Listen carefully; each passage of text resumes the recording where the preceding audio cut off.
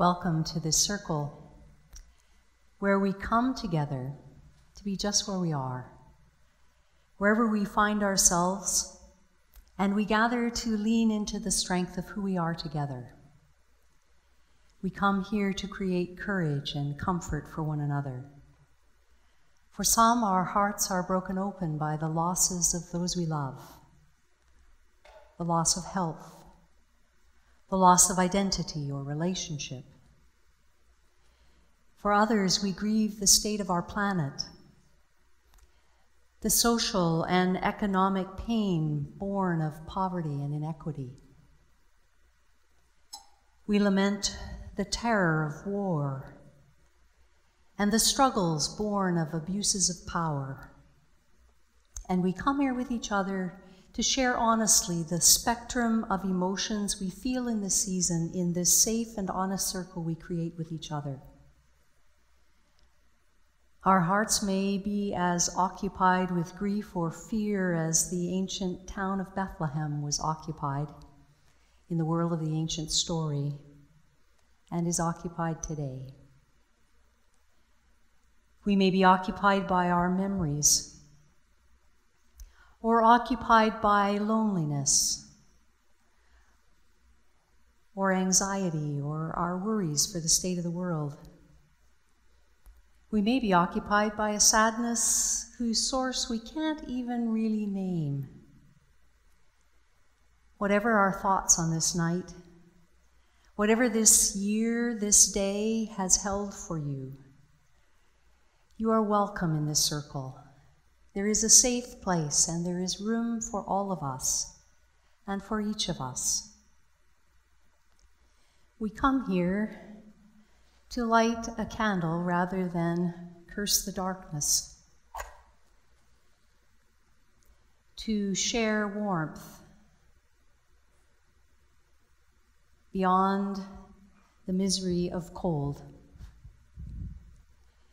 We kindle a flame of hope that we might find a spark of strength in our stories, in our songs, in ritual, in this community that we share with each other.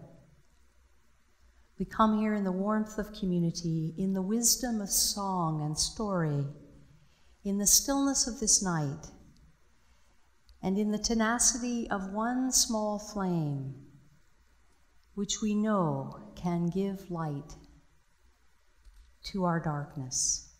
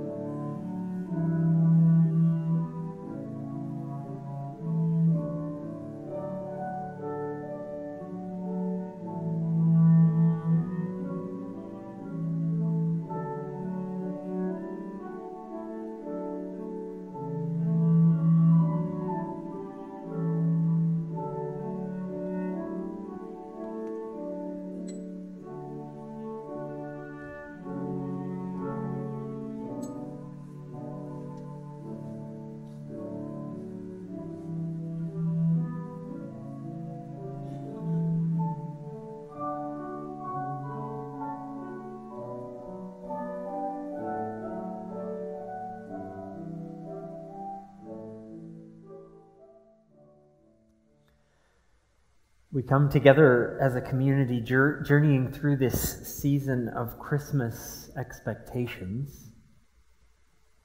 And we gather to share compassion and seek wisdom in this emotion filled season. And so we acknowledge together through our words the many facets of this season. And so I invite you to join in the bold uh, text that follows my words. In the glitter of tinsel and the hum of merriment, we meet our memories and face our realities. In the winter's short light and long darkness, We acknowledge the shadows of loss that threaten to overwhelm us. In the snow blanketed fields and the icy breath of cold, we find warmth in our care for each other and our dreams of longer. In the boughs of green shrouded with snow, we look for signs of new life in the depths of winter.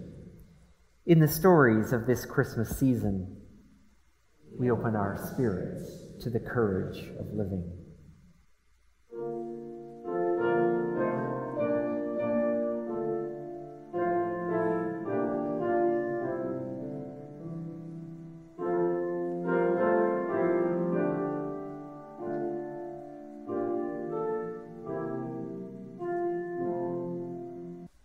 Let's join together our voices as we join our intentions with one another.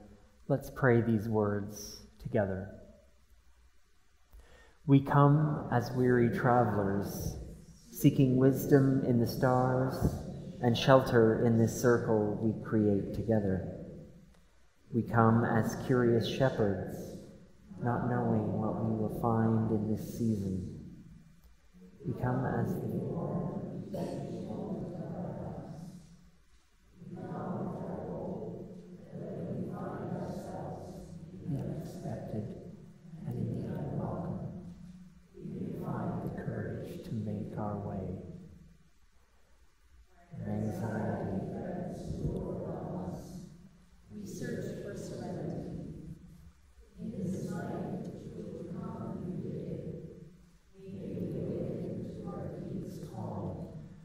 be dwelling places of love, might.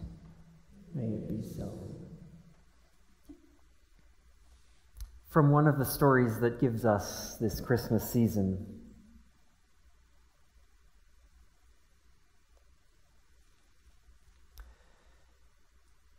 In those days, a decree went out from Emperor Augustus that all the world should be registered this was the first registration and was taken while Quirinius was governor of Syria. All went to their own towns to be registered. Joseph also went from the town of Nazareth in Galilee to Judea, to the city of David called Bethlehem, because he was descended from the house and family of David. He went to be registered with Mary, to whom he was engaged and who was expecting a child. While they were there, the time came for her to deliver her child, and she gave birth to her firstborn son, and wrapped him in bands of cloth, and laid him in a manger, because there was no place for them in the inn. Now, in that region, there were shepherds living in the fields, keeping watch over their flocks by night. Then an angel stood before them, and the glory of God shone around them, and they were terrified. And yet the angel said to them, Do not be afraid, for see, I am bringing you good news of great joy for all people. To you is born this day in the city of David a Savior who is the Messiah, the Lord. This will be a sign for you. You will find a child wrapped in bands of cloth and lying in a manger. And suddenly there was with the angel a multitude of the heavenly host, praising and saying, Glory to God in the highest, and on peace, and on earth, peace among those whom God favors. When the angels had left them and gone, the shepherds said to one another, Let us go now to this Bethlehem and see this thing that has taken place so they went with haste and found Mary and Joseph and the child lying in the manger. When they saw this, they made known what had been told them about this child. And all who heard it were amazed at what the shepherds told them. And Mary, she treasured all these words and pondered them in her heart. This is one of the ancient birth stories that our tradition passes down to us from the first century. May we find wisdom for our living.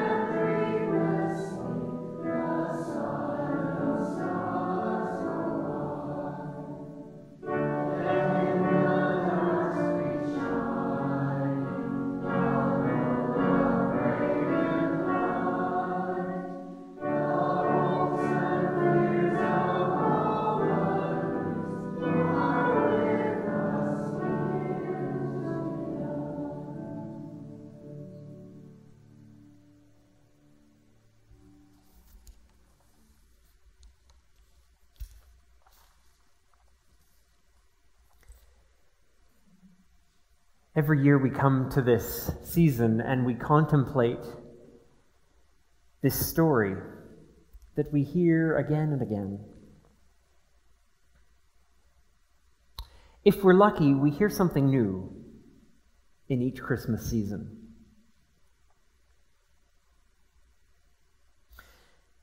This year, perhaps when we hear this story, we might think of the vulnerability of what is being described to us when we hear this ancient text. A young pregnant girl, already vulnerable in her culture to attack and shame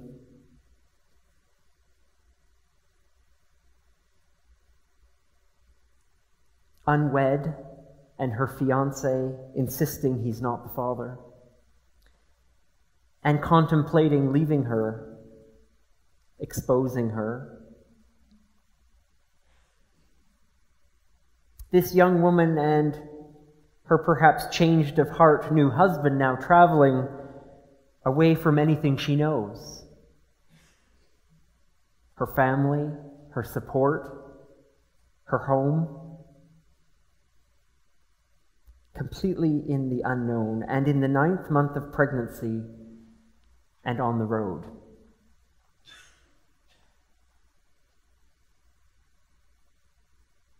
And in the midst of this time, with just her and him, labor begins, and they find no place to be alone together outside in a new and different town, living in a world that's far from ideal. But is their reality all the same? A region occupied by foreign forces.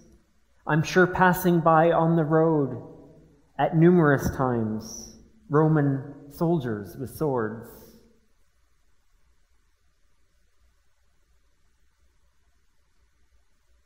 That army enforcing an absurd population uprooting in the guise of a census. And they experienced closed doors, having to labor in a strange place. They birthed their child, a child who, as any baby, must rely completely on a parent to offer every protection imaginable.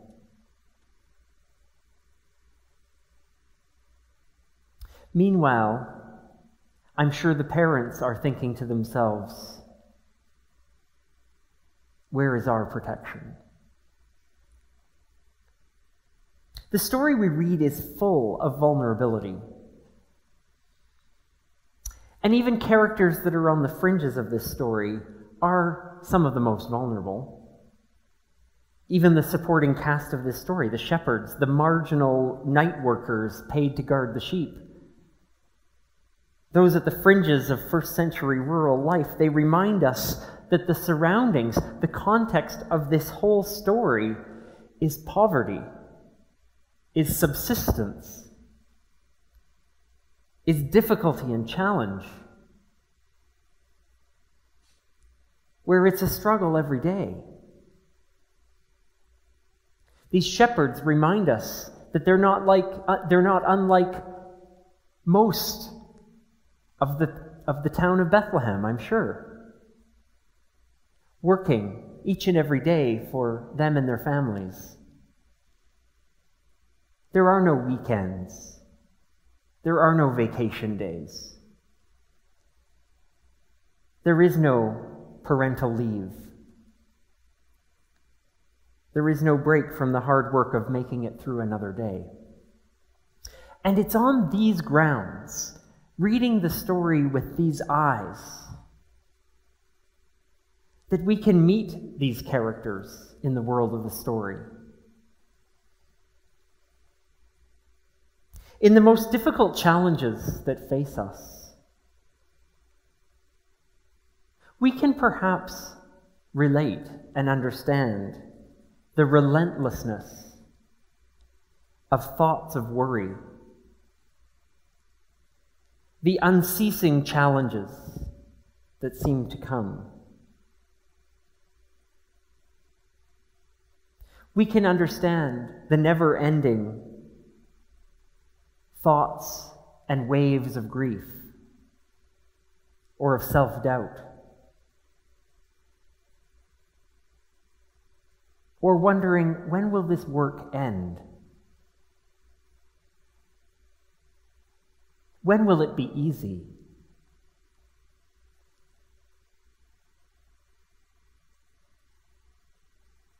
Our own journeys through the world place us, like these characters, in vulnerable places. Life is soft. Life is vulnerable. Our walking takes us through valleys of shadows of death. Our walking takes us through gauntlets of illness and treatments. Our journeys take us through losses of one kind or another, losses of relationships, losses of good health, of beloved partners and parents and children and friends.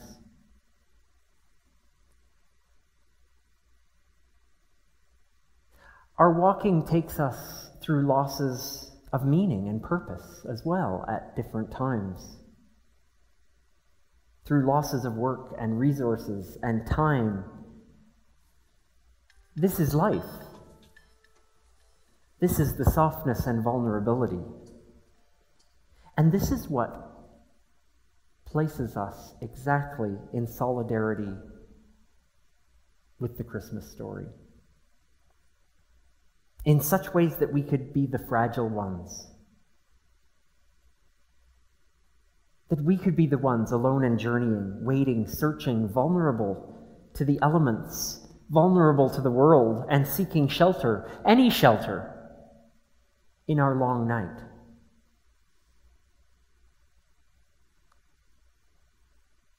Not one of us has ventured our lifetime without at least journeying through one of those experiences that has us feeling vulnerable.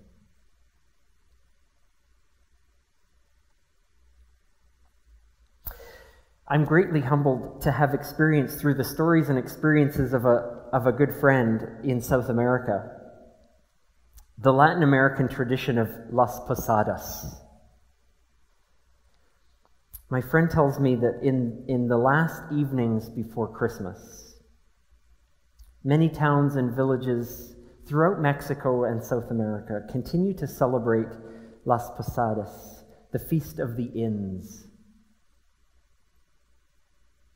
On the nine evenings before Christmas, Mary and Joseph travel each night from house to house, seeking a place to stay on their journey to Bethlehem. In some communities, a couple plays the part of Mary and Joseph. In other places, statues of Mary and Joseph are carried from house to house. And those accompanying them carry lanterns in procession. They sing songs about Mary and Joseph looking for shelter.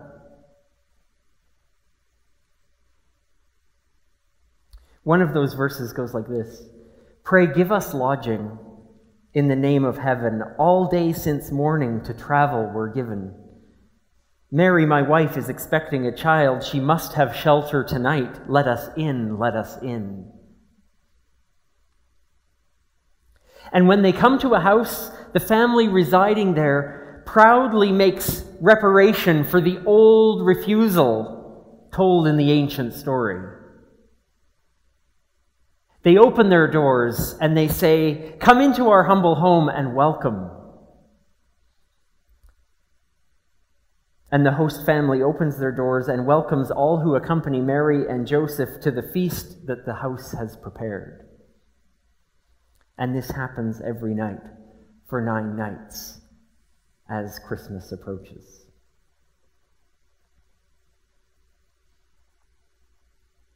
It seems that, like the young couple in our Christmas story, hope must shine in the smallest of places. In the story I just read, it's, it's half a verse. No, it's less than that. It's five words. The verse is this She gave birth to her firstborn son and wrapped him in bands of cloth and laid him in a manger because there was no room for them in the inn. And laid him in a manger. Five words is the only hint that they found somewhere to be.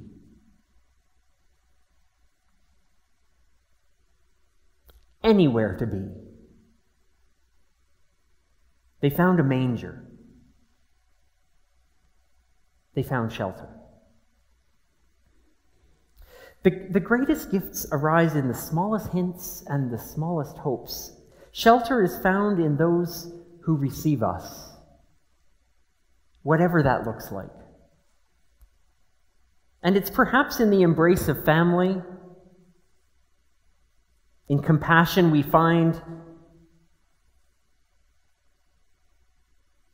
But just as often, it comes in the form of a welcome from strangers, or one we didn't consider a close friend until that great need in our lives arose. And it wasn't from those we expected, from, but from one we didn't. That in our great need shows themselves to be more present than we ever gave them credit for. Well, regardless of who it is. In difficulty and challenge, it's quite easy to see all the closed doors.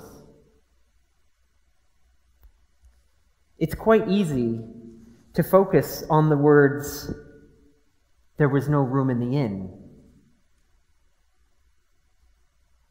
And very easy to pass over quite quickly those words laid in a manger. Those words that offer that sliver of light from a door that's been opened just a crack.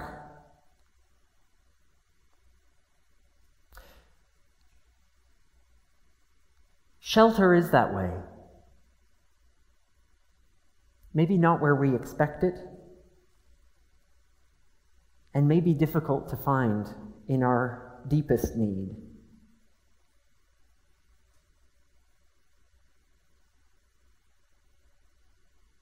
But finding shelter that takes a sharper focus to see. The shelter provided by hmm, a fellow journeyer on the road, like those sitting to our left and to our right, in front of us and behind us tonight. Even in the midst of challenge ourselves, we ask ourselves is there a way for us to be the sliver of light? The needed shelter for another, even if we ourselves are in need of it. We come to Blue Christmas for many reasons. But I think, I think many of us come because we're in need. Maybe we're vulnerable. Maybe we need shelter.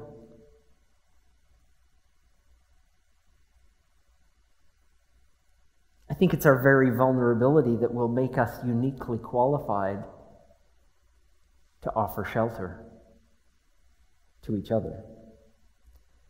It's out of our vulnerability that we are able to offer shelter because we know just what that might look like. We know what that sliver of light through the crack in a door looks like and where it might be needed. I'm gladdened and I'm inspired again by the song that those Mexican pilgrims sing as they finally come upon the house that will host them. The last verse of that traditional Las Posadas song goes like this Enter, enter, holy pilgrims, welcome to my humble home. Though 'tis little I can offer, All I have, please call your own.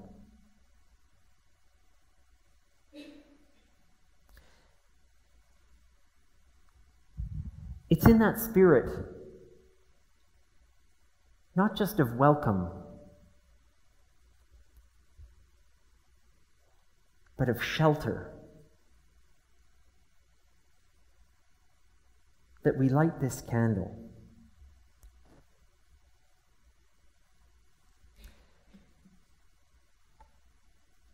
It indeed may not seem like we have much to give. And perhaps we're seeking for ourselves and feel that in our vulnerability we're in a season of receiving. And indeed, we may have little to offer. But for those of us who journey together, it may be just what another needs.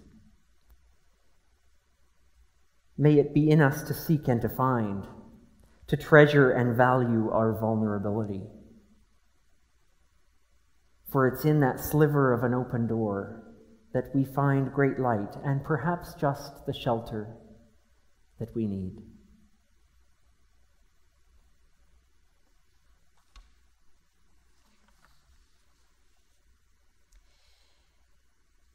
This is a story that comes to us from Victoria Safford, who is a Unitarian Universalist minister.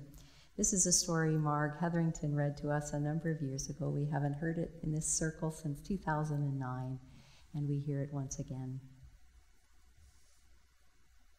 It's called In Between. One afternoon, some time ago, I brought my little baby out to visit a very, very old neighbor.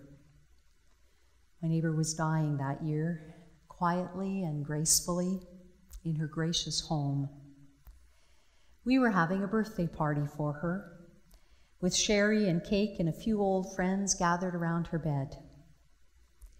To free a hand to cut the cake, I put my baby down right on the bed, right up on the pillow, and there was a sudden hush in the room, for we were all caught off guard, beholding. It was a startling sight. There in the late afternoon light were two people side by side, two human merely beings. Neither one could talk, neither one could speak, not in a language we could understand. Both utterly dependent on the rest of us, bustling around, masquerading as immortals. There they were, a plump one, apple cheeked, a cherry tomato of a babe, smiling, and a silver thin one, hollow eyed, translucent, shining, smiling. We revelers were hushed because we clearly saw that we were dancers on the very edge of things. These two were closer to the threshold the edge of the great mystery. They were closer than any of us had been for a long time, or might be for a while. Living, breathing, smiling, there they were, each with one foot and who knows how much consciousness firmly planted on the other side, whatever that is. Whatever that is, that starry darkness from which we come and whither we go in time. Fresh, fresh from birth, nigh unto death, bright eyed, they were bookends there, mirrors of each other, radiant. Cake in hand and napkins, knife, glasses, a crystal carafe, a century old, we paused there on the threshold of our momentary lives. Then someone said, What shall we sing? They said it to the silence, to the sunlight on the covers, to the stars. It was the only question then as now, years later. What on earth shall we sing? This is the experience of a community of friends.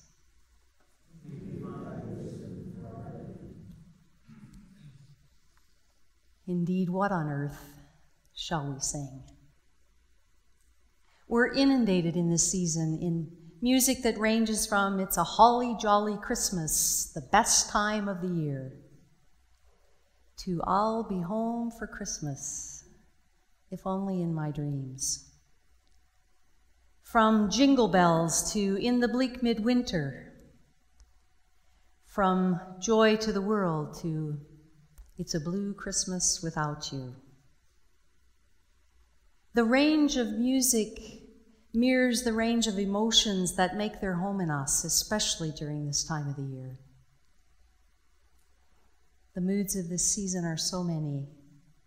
The stories, the songs, the traditions that create this season for us shift from that bleak scene of silhouetted parents in twilight in search of shelter to another frame with an intimate, stable scene warmed with strangers celebrating the birth of a child. It shifts from a cold night with shepherds shivering on a hillside to unexpected, breathtaking sense of presence that brings with it an inexplicable sense of well being. We live between the dreams of peace and the realities of growing unrest in the world. We live between moments of sheer joy and moments of unbearable sorrow between the nostalgia for the past and the hints of hope about the future, between the deep loneliness of feeling isolated even in a crowded mall, to being overwhelmed by the small kindnesses and gifts of a stranger.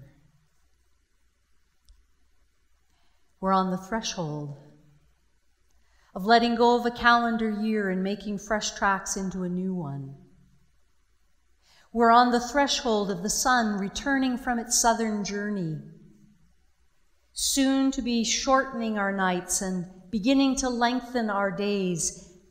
And like the family in the Nativity story, we too are between leaving home and returning home. We're on the threshold between Christmases past and Christmases to come on the threshold that receives its light from two different directions from behind us and from before us. We reside in the gift of the long or short dash between our birth and our death, precariously perched on the limb of this fragile and fleeting present moment. We've all had moments like the one Victoria Safford described. We've all had moments like that moment she saw in the infant and the elder. Moments of knowing that we are always on the edge of mystery, on the cusp of the unknown and unknowable. Making what sense we can of the past and finding courage to step into the mystery that we call the future. That we live in that provisional place we call the present tense, which is really our only true home. The threshold of a door frame is where we're told to take shelter in the event of an earthquake. It's also the place of refuge in our life quakes. Between those stages and shifts of life, there's sanctuary in the threshold, in that place where we are betwixt and between. The story we sing and celebrate in this season confronts us with our fragility, the fragility we see so clearly in the elderly and in the newly born, the fragility we see so clearly in the beginning of life and in its end. The fragility we know so well on our Goldilocks planet being in just the right place in the universe to come alive for our little threshold time. For some of us, our threshold is wide with years. For others of it's a very narrow passage, a very short step in time. And in this old story we tell year after year, amid all its vulnerability. every year we're invited again to be seized by the mystery that meets us on the threshold and invites us to live with wonder and curiosity. In this ancient story, we're invited again to be dancers on the edge of things, to stand again in the threshold of the stable, seeing ourselves like the newborn and the elderly neighbor, remembering again that each birth comes wrapped in mystery and each death comes swaddled in mystery. In the moods of the season, in the shelter of the circle, we meet. In the threshold of our momentary lives, to sing our joy and our pain, to be alive to the mystery of being here in all its trouble and beauty, to sing the blues and the beauty of our experience to stand in this eternity between our birth and our death, in reverence for the mystery of being those vulnerable dancers on the edge of things. In all that makes this season difficult for us, our fragility holds the possibility that we might be more open, more porous, more easily penetrated by the radiance that seeks us in our tears and in our laughter, in our fear and in our wonder, in our curiosity and in our compassion. So we light this candle in gratitude for the mystery that meets us.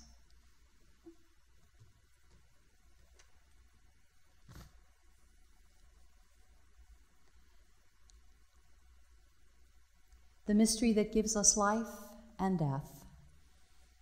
The great mystery in which we move and have our being. The mystery from which we come and to which we return. The great fire that birthed the universe the same great fire that burns in the stars and gives us our radiance. We light this candle for mystery, for the mystery and miracle of being, in which our pain may deepen into wisdom, and our grief may meet its twin in gratitude, and our love may paint our losses with mystery and meaning that we may live with a vulnerability that is open to the great mystery of Spirit. It's now that we're invited to take time, to take whatever time we need, not just to reflect, but to engage in this time of ritual in community. This time where uh, we can take the uh, taper candles uh, with us to the front and light it from any of these candles on our center table.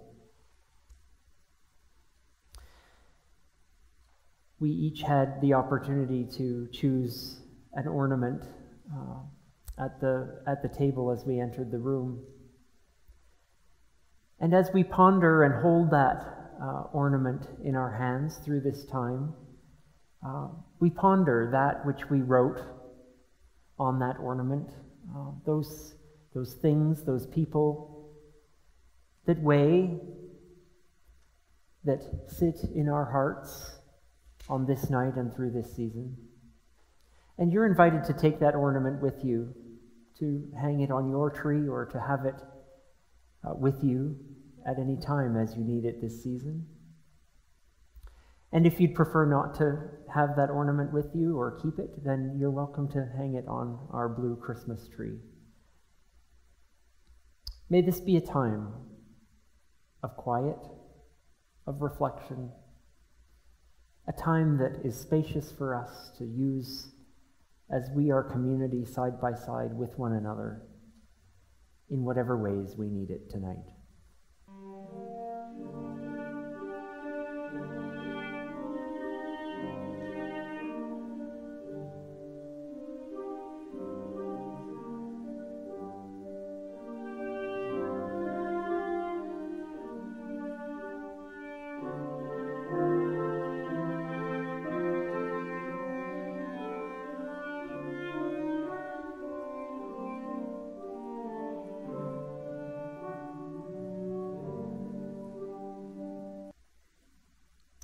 Holding our light, we bring our prayers to this night. We come in search of serenity. In the shelter of this darkness, we dare to speak honestly about the state of our planet. Amid all that we've endangered, may we find the courage and conviction to turn our hearts and our hands to heal our air and soil and water. In the shelter of this darkness, we dare to speak honestly about the people and places of the world where hunger, violence, oppression, disease, or disaster has broken land, broken communities, broken families, broken hearts. May we find ways to mend our warring madness to share our power and resources, to see our common humanity and our shared destiny, to extinguish cruelty and ignite our compassion. In the shelter of this darkness, we remember those who are most vulnerable, those who are sick, those who are dying, those who are waiting for help, those who are hoping for healing. We remember those whose memories are scarred by tragedy, by abuse, by accidents, by the fate filled turning of time. We remember this night those who are desperate, those who are hungry and homeless, those who are without hope. As we hold this light in our hands, we hold these beloved ones in the embrace of our love. In the shelter of this darkness, we acknowledge our grief over what might have been, and our grief over what was and cannot be any longer. We lament that we have survived and others we've loved have died. We lament that relationships we hoped would last a lifetime have lasted a season. We laugh and cry our way into the realities we face. And in the safety of this circle, we name in silence those whose light we hold in our hands and we hold in our hearts. Knowing hard things break and soft things bend. May we befriend our vulnerability in ways that keeps our heart pliable with wonder and with gratitude. In the shelter of this darkness, may we find the serenity to accept the things we cannot change, the courage to change the things we can, and the wisdom to know the difference. May we find the patience for the things that take time the appreciation for all that we have, and understanding for those with different struggles. May we find the freedom to live beyond the limitations of our past. May we find the ability to feel loved and to love each other and find the strength to get up and try again, even when it feels hopeless. With the wisdom of our stories and our lived experience. May we offer each other strength for today, courage for tomorrow, peace for all that is, for all that was, for all that will yet be.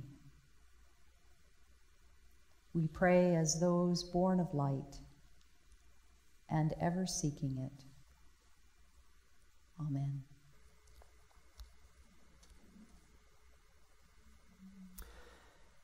It is night, night that comes after a full day,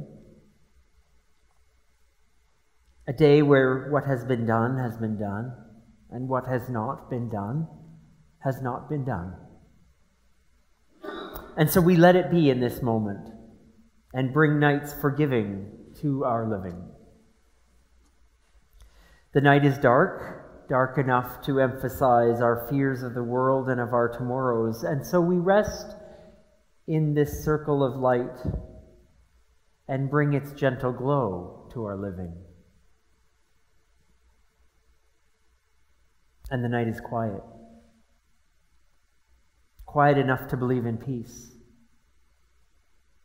And so we wrap ourselves in this quiet and bring night's peace into our living.